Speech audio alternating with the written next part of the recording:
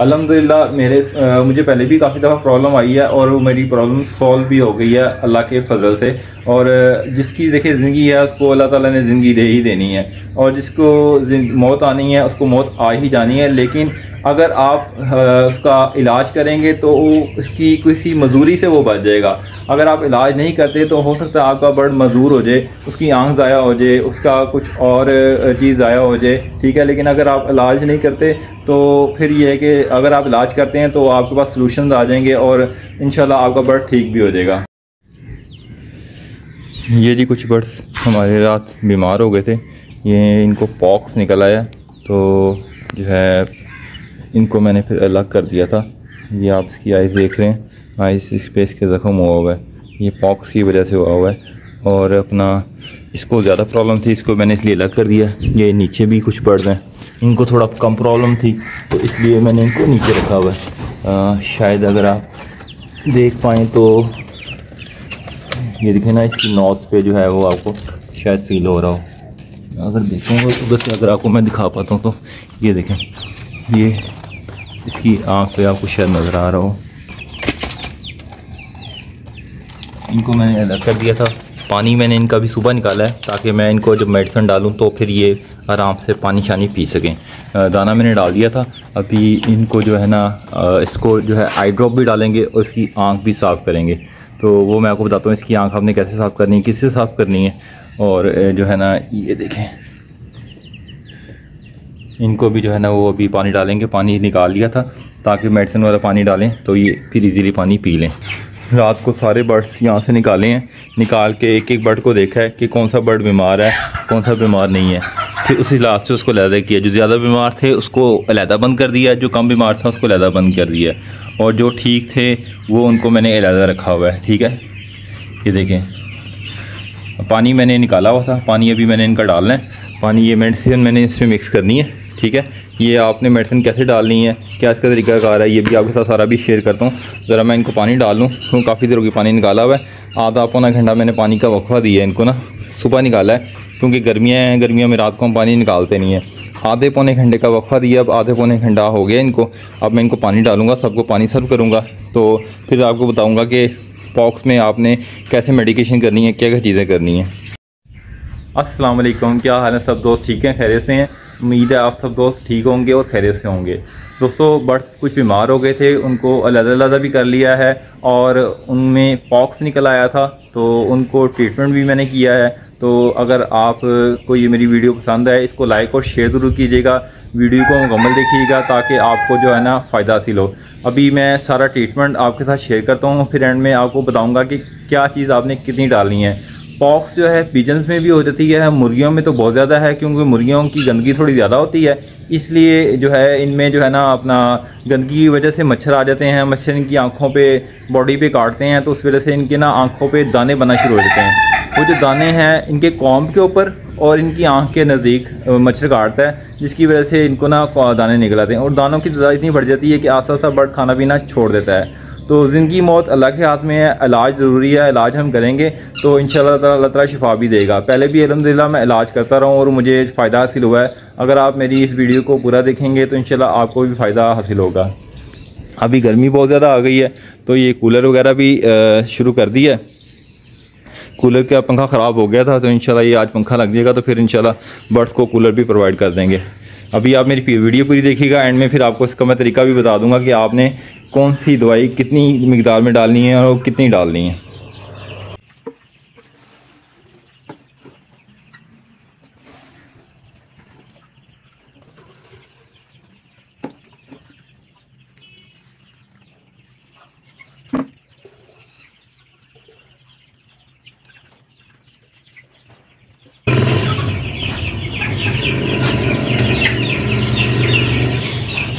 ये देखें जी, सब पानी पी रहे हैं, क्योंकि पानी का इनको थोड़ा सा वो इंतज़ार करवाया है, अब सब पानी पीने लग गए हैं।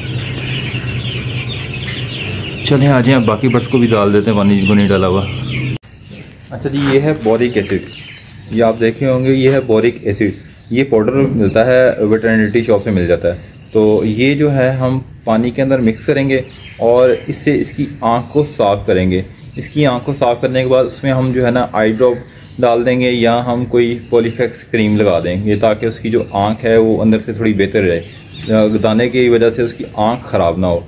वरना ऐसा होता है कि दाना अगर उसकी आँख पे रहता है, उसकी आँख बंद रहती है तो उसकी आँख ज़ाया हो सकती है। कोशिश करेंगे हम उसकी आइज़ को बचाएँ।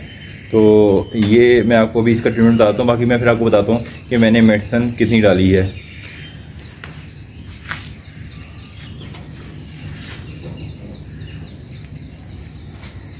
ये हम पानी में मिक्स कर लेंगे। इसकी भी एक छोटी सी कोली में पानी ले लें आप। इसको पानी में मिक्स कर लें। पानी में मिक्स कर लें, इसको अच्छी तरह पानी में आपने मिक्स कर लेना। और रुई के साथ कॉटन के साथ जो है, आपने उसकी आइस को साफ़ करना है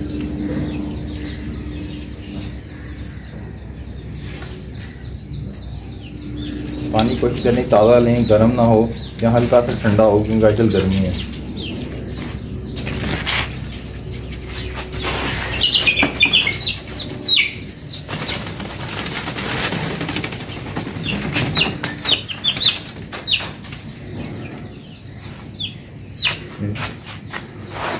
आँख को खोलने की कोशिश करेंगे, साफ़ करेंगे।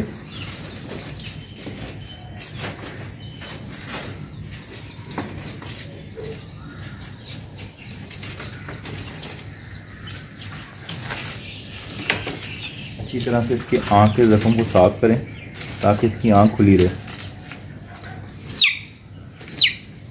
रात तो बहुत बुरा हाल था, लेकिन अलहमदिल्ला इसका कुछ बेहतर है। यहाँ ब्लड भी निकल रहा है।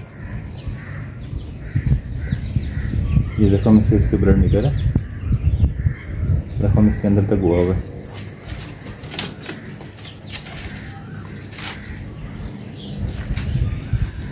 आप इसकी आँख में ड्रॉप डालें।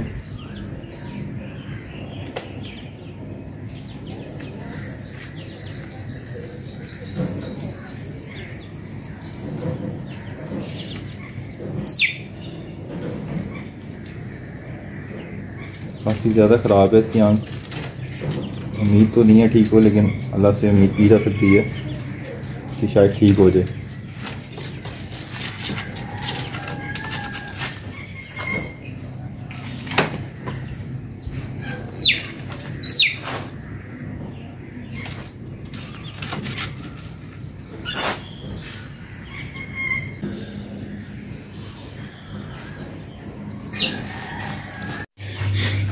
ये जी आपके सामने दो सिरप पड़े हैं। एक है एसिलेक्स सिरप, ये है एसिलेक्स सिरप। ये एंटीबायोटिक है और एंटीवायरस भी शायद है। ये जो है, ये पॉक्स के लिए बहुत ज़्यादा अच्छा है। अगर आपके बर्ड्स को पॉक्स लिखा, निकल आया है, अगर मुर्गियों को निकल आया है तो आप एक लीटर में पाँच सी यूज़ करवा सकते हैं। एक लीटर में पाँच सी मिलाएँगे और इसको अच्छी तरह मिक्स कर लेंगे और बर्ड्स को डाल देंगे। और अगर आपने तोते रखे हुए हैं तो फिर ये आप एक लीटर में दो सीसी यूज़ करेंगे। अगर बर्ड बहुत ज़्यादा बीमार है उसको बहुत ज़्यादा पॉक्स निकला हुआ है। और अगर उसका कम है तो फिर आप एक लीटर में एक सीसी यूज़ कर सकते हैं। ये आपको इंसानों के मेडिकल स्टोर से मिलेगा।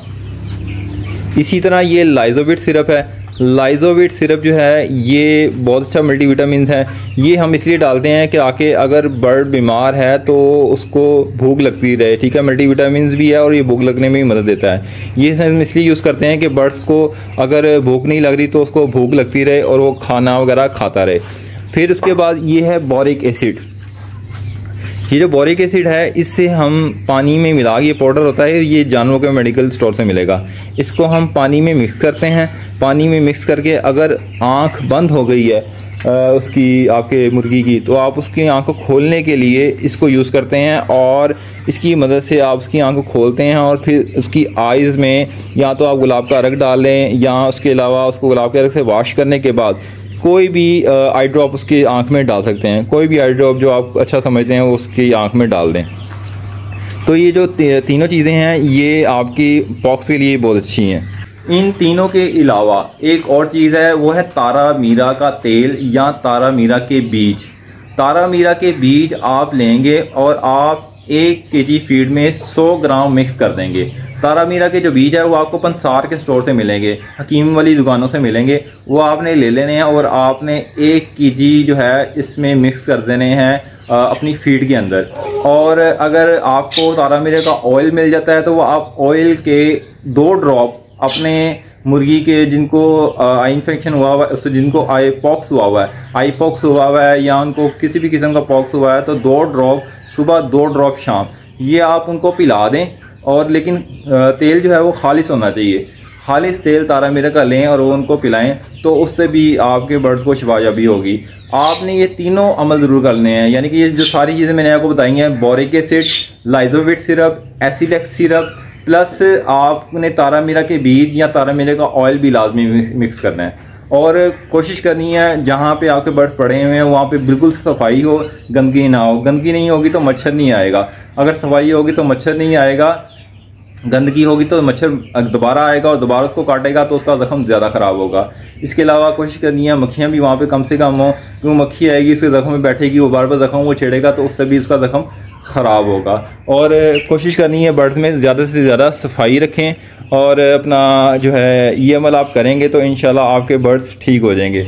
अलहमदिल्ला मेरे आ, मुझे पहले भी काफ़ी दफ़ा प्रॉब्लम आई है और वो मेरी प्रॉब्लम सॉल्व भी हो गई है अल्लाह के फजल से। और जिसकी देखिए ज़िंदगी है उसको अल्लाह ताला ने ज़िंदगी दे ही देनी है। और जिसको मौत आनी है उसको मौत आ ही जानी है। लेकिन अगर आप उसका इलाज करेंगे तो उसकी किसी मजदूरी से वो बच जाएगा।